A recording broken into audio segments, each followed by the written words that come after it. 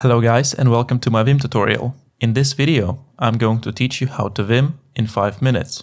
Let's start with movement. In Vim, you can press J to go bottom, you can press K to go up, you can press L to go right, and you can press H to go left.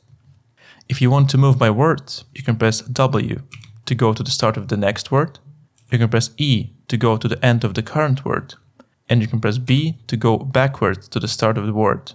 You can also type a number before any of these commands to execute the command several times. So if I want to go 5 lines bottom, I can press 5J, 7K, 2E, it all will work.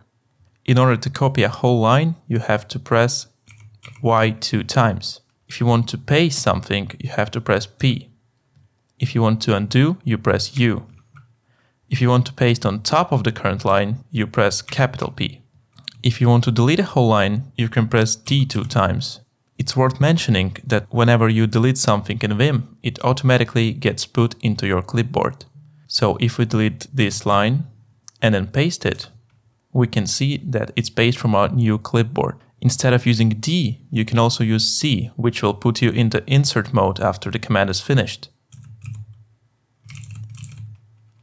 You can also enter insert mode manually by pressing I to go to the left of your cursor, or press A to go to the right. You can move to the start of the line by pressing 0. You can move to the first character of the line by pressing caret. You can move to the end of the line by pressing dollar sign. And you can also move to the corresponding bracket by pressing the percentage sign.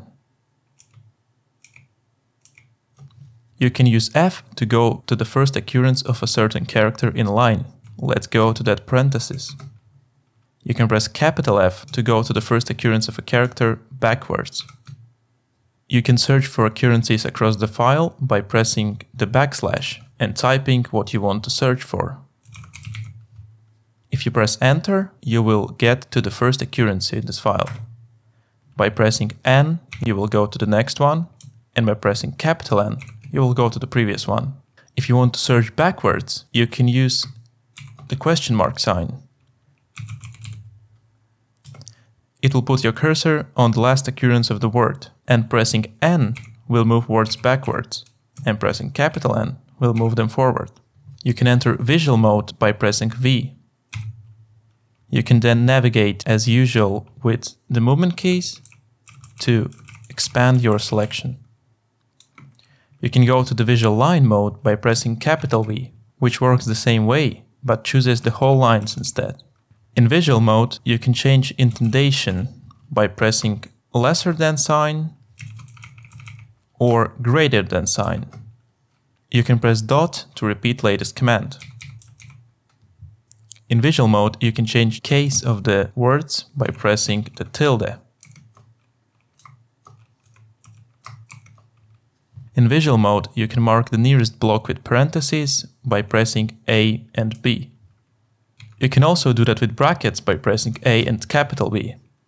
If you only want to mark the contents of that block, you can press I and B to get the content inside the parentheses, and I and capital B to mark the content inside the brackets. Okay, this should be enough for you to get started with Vim. Huge thanks to you for watching. Have a nice day and bye.